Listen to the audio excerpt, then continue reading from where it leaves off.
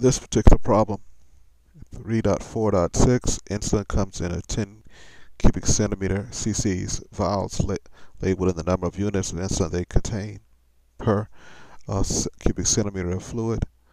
Um, vial marked U40 has 40 units of insulin per cubic centimeter of fluid. If a person needs 22 units of insulin, how much fluid should be drawn into the syringe from the U40 vial?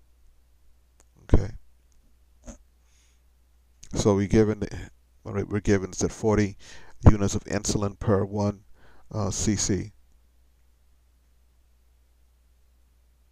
of fluid, and we know the person is going to need uh, 22 units of insulin. How many cc's will they need? So we set up our proportion here and cross multiply and divide, and we find that they need 0.55 cc's of fluid.